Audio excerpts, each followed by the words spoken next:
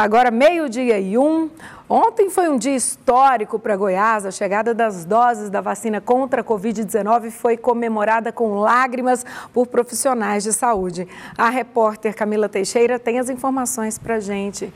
Boa tarde para você, Camila.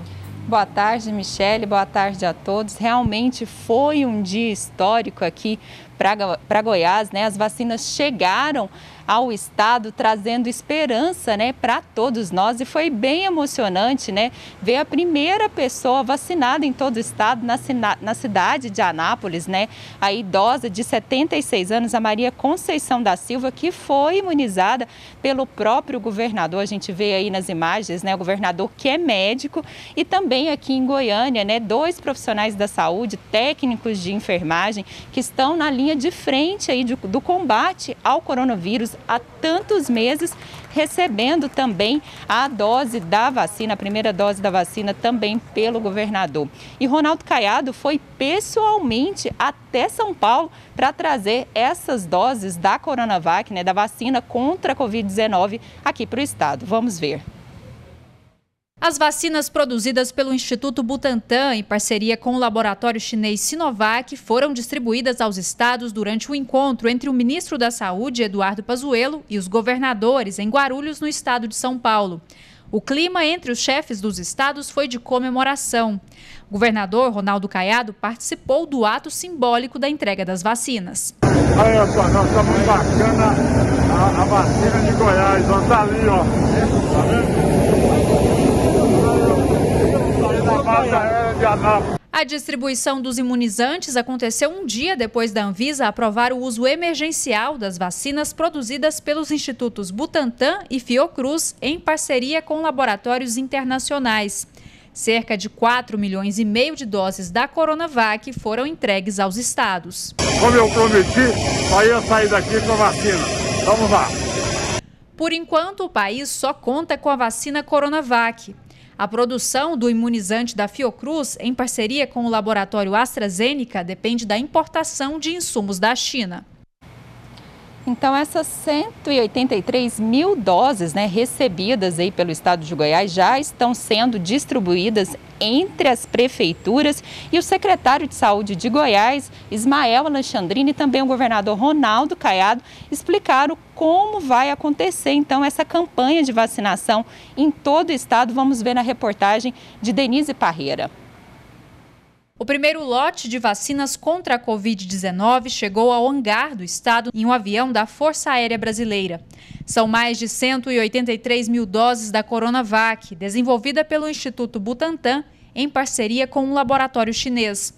A quantidade vai ser suficiente para vacinar em torno de 90 mil pessoas, porque são necessárias duas doses para a imunização. Os idosos que estão em instituições de longa permanência, chamadas IUPs, é, indígenas que são aldeados, é, pessoas que têm deficiência física, que também estão institucionalizadas em instituições de longa permanência, e profissionais de saúde que estão na linha de frente do enfrentamento da Covid-19. Segundo o secretário, o intervalo de aplicação entre a primeira e a segunda dose vai ficar entre 21 e 28 dias.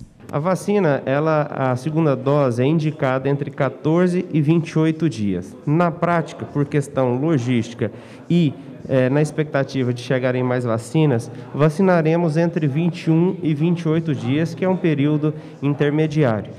A, a vacina ela tem lote a pessoa que está vacinando, ela tem o cartão SUS, tudo isso será registrado na planilha no sistema do Ministério da Saúde de forma padronizada, chamado CPNI, criado exclusivamente para a Covid-19, padronizado em todos os municípios, de forma que quando é, o cidadão depois retornar à unidade para ser vacinado, seus dados estarão registrados com o que foi da primeira vacina, se foi é, da marca X, se for da marca Y, isso tudo estará registrado de forma a possibilitar uma vacinação segura. O governador Ronaldo Caiado comemorou a chegada da vacina. É um dia que vai ficar marcado para todos nós, até porque é uma saída real para o combate ao Covid-19 até então nós tratávamos as pessoas e esperávamos com que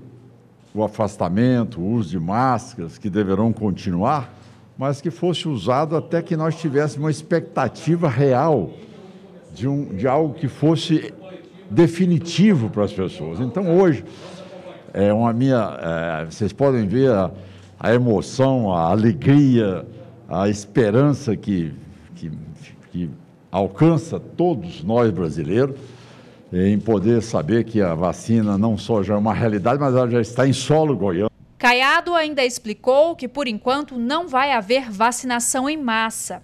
Já a imunização de mais pessoas de grupos prioritários depende da chegada dos insumos para a fabricação das vacinas no país.